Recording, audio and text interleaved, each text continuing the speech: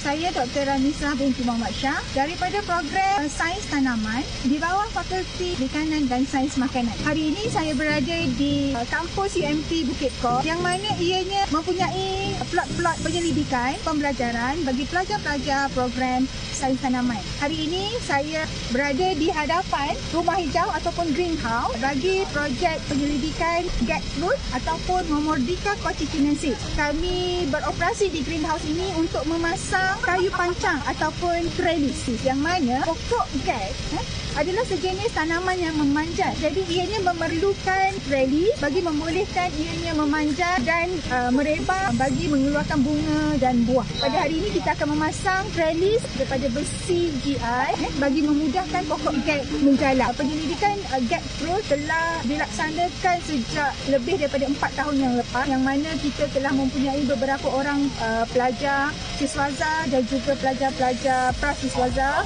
yang menjalankan penyelidikan di sini. Eh, yang mana kita mulakan dengan plot penyelidikan di ladang dan sekarang kita cuba menanam pokok get fruit di dalam greenhouse. Jadi kita mahu uh, melihat adakah perbezaan perbezaan sekiranya get fruit ditanam di tempat terbuka dan juga ditanam di dalam greenhouse yang mana persekitarannya adalah terkawal daripada segi pemberian air. Di dalam greenhouse ini air telah disalurkan melalui kaedah misting ataupun semburan halus air. Jadi uh, semburan tersebut telah diset eh, ataupun dikawal akan diberi sebanyak tiga kali sehari secara uh, seragam. Jadi kita tidak perlu hari-hari datang untuk menyiram tanaman lah seperti di plot yang terbuka. Jadi di dalam greenhouse ni penyiraman terkawal. Seperti yang kita tahu apabila di dalam greenhouse kita dapat mengurangkan eh, serangan penyakit ataupun serangan serangga. Buah gat ni eh, dia menjadi tarikan kepada serangga. Eh. Serangga datang untuk menggigit buah dan merosakkan buah. Jadi